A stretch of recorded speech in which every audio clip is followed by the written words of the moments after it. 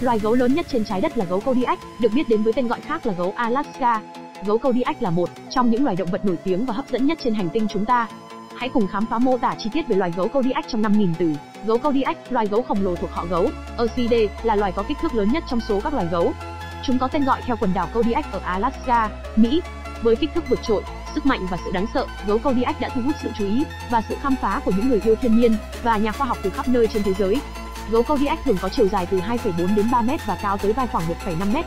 Trọng lượng của chúng có thể vượt quá 900 kg, với những con đực lớn hơn so với cá thể cái. Chúng có bộ lông dày và dài, mang màu từ nâu đậm đến xám. Một số cá thể còn có màu nâu đỏ hoặc màu đen. Bộ lông dày và màu sắc tương thích giúp chúng hòa mình với môi trường xung quanh, đồng thời bảo vệ chúng khỏi thời tiết khắc nghiệt và tạo sự ngụy trang trong môi trường rừng rậm. Gấu Kodiak có hình thể cồng kềnh và cơ bắp mạnh mẽ. Chúng có đầu lớn với tai nhọn và mũi nhọn. Gấu Kodiak cũng có một cặp mắt nhỏ, trí tuệ sắc bén và khả năng quan sát tốt trong điều kiện ánh sáng yếu. Đôi tai nhạy bén của chúng cũng giúp chúng nghe và phản xạ nhanh chóng khi có tiếng động trong môi trường xung quanh. Với móng vuốt sắc nhọn, gấu câu đi ách có thể cào, đào, leo cây và săn mồi. Móng vuốt của chúng cũng giúp chúng di chuyển một cách linh hoạt và an toàn trên nền đất hoặc tuyết phủ. Đây là một phần quan trọng của cấu trúc xương và cơ bắp của chúng, giúp chúng tạo ra sự ổn định và sức mạnh khi cần thiết. Gấu Kodiak sống chủ yếu trên đảo Kodiak và các hòn đảo nhỏ xung quanh quần đảo này ở Alaska. Môi trường sống của chúng rất đa dạng và bao gồm rừng rậm, sa mạc, vùng đồng cỏ và các khu vực núi cao.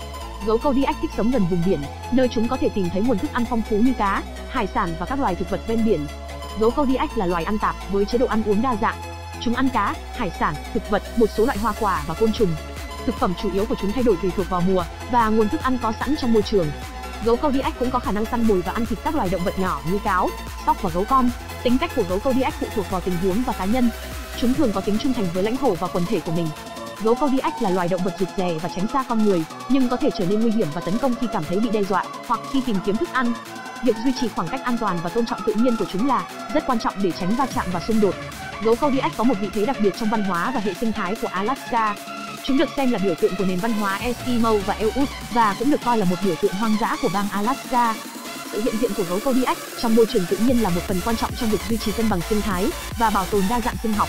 Tuy nhiên, do việc săn bắt và mất môi trường sống, gấu Kodiak đang đối mặt với nguy cơ suy giảm số lượng. Các biện pháp bảo vệ và quản lý bền vững đang được thực hiện để bảo vệ loài gấu Kodiak và đảm bảo sự tồn tại của chúng trong tương lai. Gấu Kodiak không chỉ là một loài gấu lớn mà còn là một biểu tượng hoang dã, là một phần quan trọng của hệ sinh thái Alaska và là một khám phá đáng kinh ngạc cho những người yêu thiên nhiên. Cảm ơn các bạn đã xem video. Xin chào hẹn gặp lại.